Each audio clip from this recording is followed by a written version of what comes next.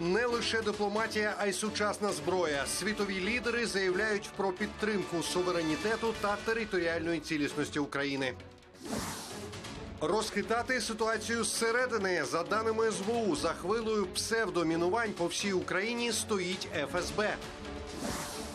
Зростання комунальних тарифів не уникнути. Нацбанк оприлюднив прогноз росту цін. Докладніше про нього розкажемо у випуску новин.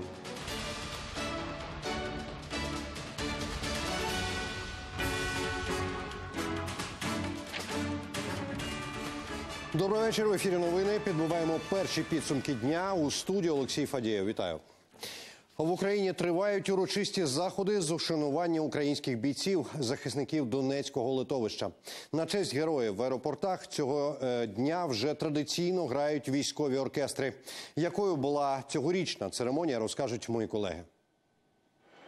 Міжнародний аеропорт Бориспіль. Зранку тут вишикувалися музиканти військового оркестру для вшанування героїв кіборгів, які 242 дні боронили Донецький аеропорт. Виконали шану Михайла Рибоконя та мелодію Мирослава Скорика.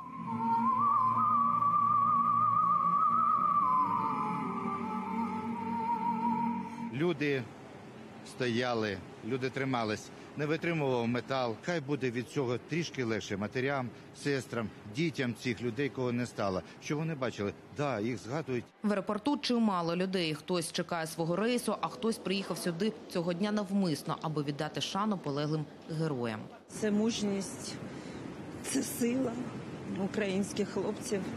І захист нашої території Донецької, Луганщина це, це українська територія. Хто там загинув, вічна пам'ять. А це вже Львівський міжнародний аеропорт. У терміналі військовий оркестр Національної академії сухопутних військ. Окрім шани й мелодії, тут виконали ще й пісню про пісню Тараса Петрененка.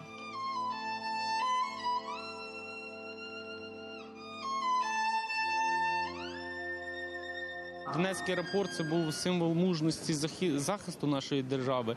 А твори, які являються так само в українській культурній спадщині, так само символічним. Для присутніх в аеропорту цей день пам'яті й скорботи, а ще нагадування про мужність українських вояків. Коли грав оркестр, то ну було так досить сумно на душі, насправді, бо зараз згадуються ці події. і Уявляється те, що в тих людей було життя, була сім'я, були свої мрії, але вони в якийсь момент цим пожертвували. Концерт реквієм і в аеропорту Дніпра виконує музичні твори військовий оркестр штабу оперативного командування Схід. Ми вибрали ще Селензою, відомий всесвітній твір, тому що він такий, знаєте, життєстверджуючий.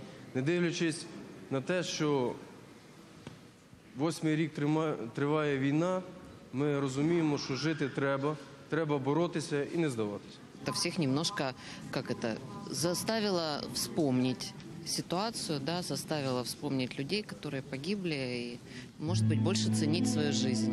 А перед литовищем уже гуркотять двигуни автомобілів. На парковку з'їжджаються учасники флешмобу. Около 20-25 машин будет создавать эту башню в память ребят, которые погибли. Хотим почтить их память. Сьогодні на місці Донецького аеропорту руїни. Отім, ті, хто вижив під час оборони ДАПу, вірять, настане час і запалять свічку пам'яті та влаштують виступ оркестру і на місці звільненого Донецького аеропорту. Олена Медалюк, новини телеканал Інтер. Сьогодні на фронті знову затища, жодної ворожої атаки. Минулої доби зафіксовано п'ять порушень режиму тиші. У бік опитного на Донеччині ворог бив із мінометів 120-го калібру. Із забороненої зброї також накривав золоте на Луганщині, а поблизу Катеринівки стріляв із протитанкових гранатометів. Активізацію супротивника відзначають наші бійці на передовій. Репортаж Руслана Смещука. Околиці Донецька на горизонті, лабіринти з окопів та зруйнованих будинків навкруги. Це легендарне і порожнє селище Піски. Напередодні тут був бій. Було таке затіще. В, основному ночі і ввечері постріли були, а вчора так щось активізувалося. Вояки розповідають, як часто буває спочатку по них ворог бив зі стрілецької зброї, потім калібри збільшував, а далі по українських солдатах вдарили із міномета. Автоматична зброя була кулемети та е, по сусідні, по нашим сусідям були приходи ну, дуже не так багато, але були. десь 82-й, 120-й калібр. От. У нас були приходи так, ну, з АГС. Невдовзі після обстрілу над нашими позиціями пролетіли одразу декілька ворожих дронів. Я услышал пролетание беспилотников. Прямо над, видно было над головой. Я даже предупредил ребят, которые работали со мной, что действительно мы сразу же ушли, спрятались. Был сперва один, такой, знаете, был маленький шум. Потом резко два, и они чуть опустились ниже и резко поднялись вверх и ушли. Працюючи тут на позиціях, ми зустріли Оксану. До цього я служила в мобільному госпіталі. Бойовий медик, а тут ще й стрілець. Оксана відбуває свою першу фронтову ротацію. Каже, коли їхала на передову, думала, буде трохи легше. Трошечки складніше, ніж я очікувала. Все-таки це фронт, це війна. А чому? Це бит чи це там обстріли? Обстріли я спокійно відношуся, трошечки бит. Пристосувалася. А ось до туги за рідними пристосуватися складніше, розповідає Оксана. Тож принагідно через нас передає звістку для тих, за ким скучила найбільше. Я хотіла би передати привіт своїм дітям Ніколаю і Сєві. Так що, може, це побачать вони в новинах. А що хочете передати їм? Що їх дуже люблю. І чекаю, коли повернуся додому. Що ж до загальної ситуації на фронті після вчорашнього вечірнього загострення становище тут знову трохи стабілізувалося. Із Донеччини Руслан Смещук, Вадим Ревун та Олег Зубов. Новини телеканал Інтер. Будь-яке вторгнення, включно з гібридними та кібератаками, захід розцінить як агресію Росії проти України. Про це заявив президент США Джо Байден. Він нагадав, що у Криму Кремль уже використовував зелених чоловічків, які насправді були кадровими російськими військовиками без розпізнавальних знаків збройних сил РФ. Так само Москва діє і на Донбасі.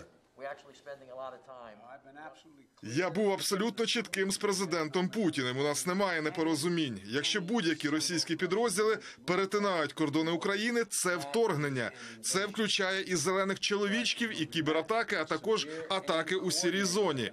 Після цього настане жорстка економічна відповідь. 30 елітних вояків та 2000 протитанкових ракетних установок уже прибули в Україну з Великої Британії. Оборонну зброю з понеділка доправляли кількома військово-транспортними літаками королівських військово-повітряних сил. Які заяви лунають із Лондона на тлі воєнної ескалації на українсько-російському кордоні, розкаже наша британська кореспондентка Світлана Чернецька. Ані Лондон, ані Київ офіційно не підтверджують конкретних обсягів воєнної допомоги, але британським журналістам вдалося прознати. Йдеться про щонайменше дві тисячі ракетних установок, а ще про 30 військових інструкторів, які прилетіли в Україну. Це елітні бійці новоствореної бригади спеціальних операцій, так званого полку рейнджерів. Вони навчатимуть українських колег послуговуватися над сучасною зброєю. Так, Велика Британія допомагає Україні в рамках підготовки до можливого вторгнення Росії. Якщо Росія наважиться вдертися в Україну і стосується це агресії будь-якого масштабу, думаю, це стане катастрофою не тільки для України чи для тієї ж Росії, це стане крахом для всього світу. Велика Британія повністю підтримує суверенітет і цілісність України. Наразі британська армія ділиться винятково оборонною зброєю. Це легкі протитанкові ракети наступного покоління. Їхня перевага в тому, що один солдат єдиним пострілом може дати відсіч великій броньованій машині, і це серйозний аргумент у ближньому бою. Тим часом Велика Британія готується дати відсіч Росії на дипломатичному фронті. Ми дуже чітко усвідомлюємо разом із нашими партнерами в G7, із нашими союзниками по НАТО, що вторгнення Росії в Україну Москві обійдеться дуже дорого. Ми готові запровадити наджорсткі санкції, а також працюємо над підтримкою України в питанні обороноздатності. Бо ця ситуація потребує негайного вирішення. Необхідно, щоб інші країни теж долучилися до цього. Головна британська дипломатка попередила, що вторгнення в Україну стане стратегічною помилкою і затягне Москву в трясовину, таку ж як і з радянсько-афганською війною чи конфліктом у Чечні. Зараз у Лондоні розглядають можливість відрядити ще сотні вояків до сусідніх із Україною країн НАТО. Світлана Чернецька, Юрій Романюк. Новини британське бюро телеканалу Інтер. Про підтримку суверенітету та територіальної цілісності України заявили лідери Великої Британії, Німеччини та Австрії. Допомогти військовими ресурсами готові й інші держави, зокрема Нідерланди, Іспанія та Канада. Як саме країни всього світу підтримують нашу Україну? Дивіться далі. Будь-яке вторгнення в Україну було б серйозною стратегічною помилкою. Про це заявили прем'єр-міністр Великої Британії Борис Джонсон і канцлер Німеччини Олаф Шольц. Напередодні вони провели телефонну розмову та узгодили спільну позицію щодо наслідків для Росії у разі нападу на Україну. Політики погодилися, що подальша воєнна агресія дорого коштуватиме Кремлю. Забрати руки від України закликав Росію глава МЗС Австрії. Із такою заявою Олександр Шаленберг виступив у Національній раді країни. У своїй промові Шаленберг зазначив, більшість вимог Росії, такі як гарантії, що Україна ніколи не вступить до НАТО, є просто неприйнятними. За словами очільника зовнішньополітичного відомства Австрії, такі питання має вирішувати сам альянс, а не якась третя країна. Шаленберг також додав, що подальша агресія Російської Федерації проти України матиме серйозні наслідки для Росії. В уряді Нідерландів заявили про готовність надати військову допомогу Україні. Відповідну заяву зробив глава МЗС Вопке Хукстра. За його словами, пропозицію стосовно допомоги розглянуть у разі відповідного запиту до НАТО або напряму до Нідерландів.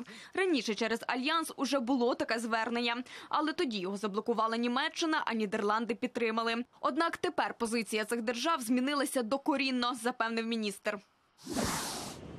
До Чорного та Середземного морів Іспанія скерувала військові кораблі. Там вони приєднаються до військово-морських сил НАТО. Про це повідомила міністр оборони Маргарита Робліс. Відправити судна вирішили через напруженість у регіоні, зокрема нарощування російських військ на кордоні з Україною. За словами Роблес, мінний тральщик уже в дорозі, а фрегат вирушить найближчими днями. Також уряд Іспанії розглядає можливість направити винищувачі до Болгарії.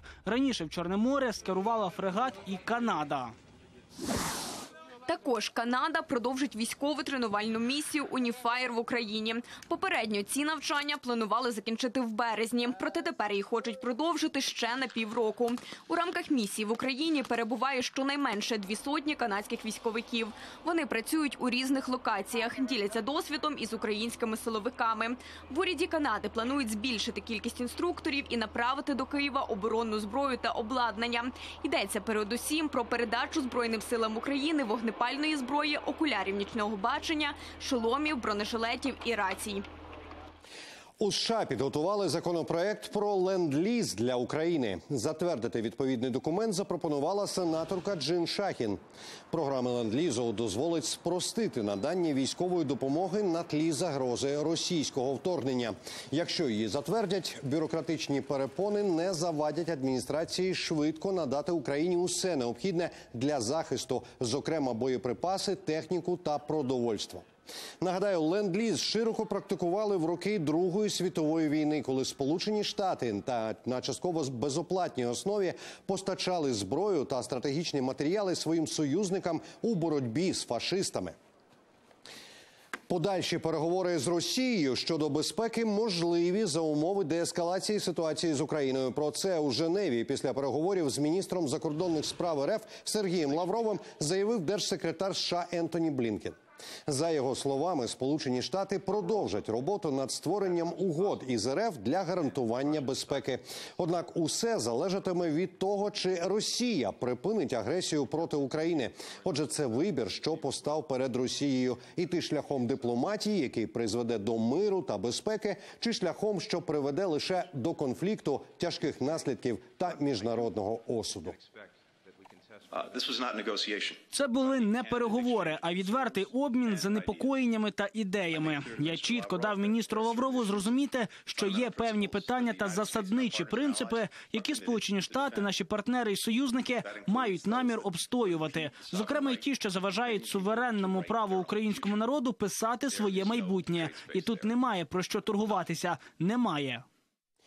Півтисячі фотографій з так званого палацу Путіна оприлюднила команда Навального. Опубліковані знімки мають підтвердити правдивість 3D-візуалізації першого фільму про палац російського президента у Геленджику.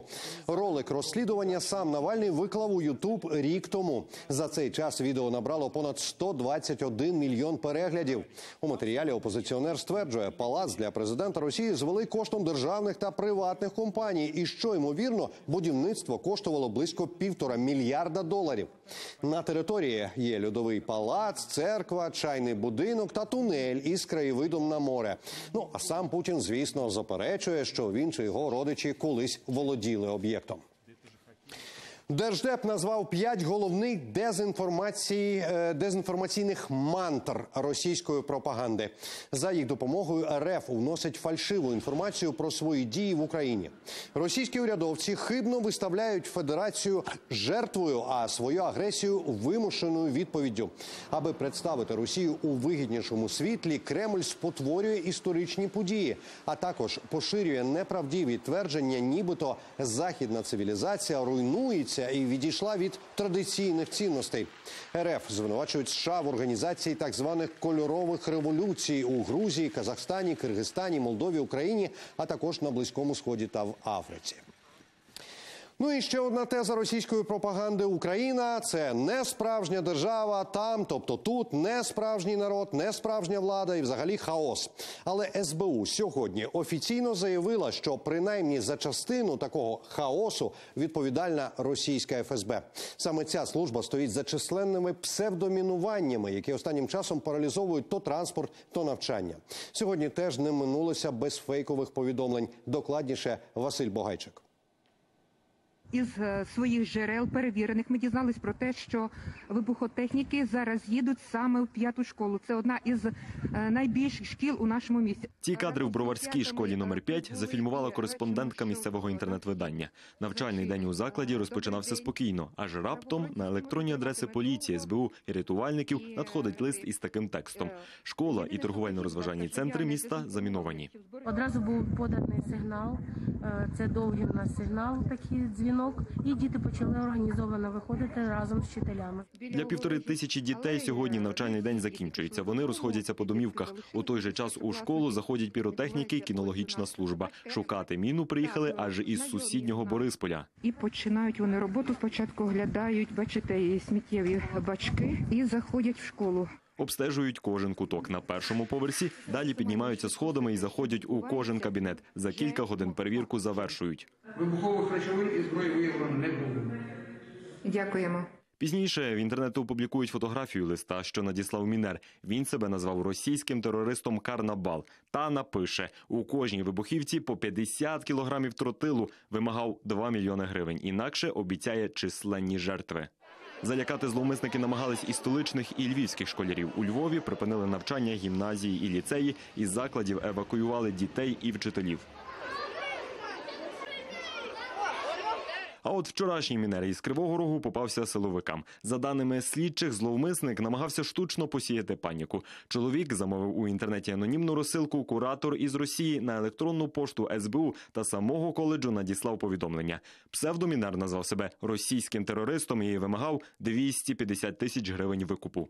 Тепер чоловіку загрожує до шести років позбавлення волі. Псевдомінером виявився студент іншого місцевого коледжу, який замовив мінування у адміністратора одного з російських закритих телеграм-чатів, що керується спецслужбами РФ.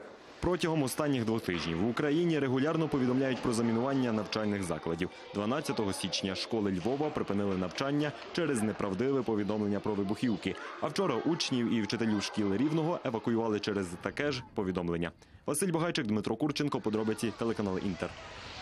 Далі економічні теми українцям цього року не уникнути зростання тарифів на ЖКГ. Невтішний прогноз оприлюднив Національний банк України. І за даними регулятора, світові ціни на енергоносії залишатимуться вищими довший час аніж прогнозували наприкінці минулого року. І через це витрати національних постачальників комунальних послуг зростуть. Про інші економічні події дивіться далі в огляді Оксани Тупальської. Бензин А-95 на автозаправних станціях України за останню добу подорожчав у межах однієї гривні за літр. Плавне підняття цін дозволило Міністерство економіки. Тиждень тому граничну вартість пального урядовці підвищили на 95 копійок до 27 гривень 92 копійок за літр. А з урахуванням граничної націнки верхня допустима межа становить 32 гривні 92 копійки за літр. Нині на АЗС вартість популярного А-95 коливається від 30 гривень 85 до граничних 32 гривень 92 копійок за літр.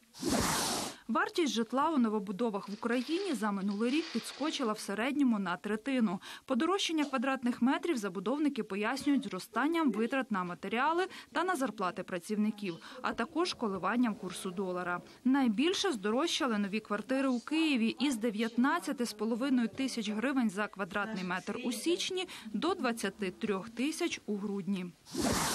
Виробництво яєць на українських птахофабриках за рік зменшилося на понад 20%. За даними Держстату, у 2021-му бізнесом зібрано 7 мільярдів штук яєць. Ще стільки ж здали селяни.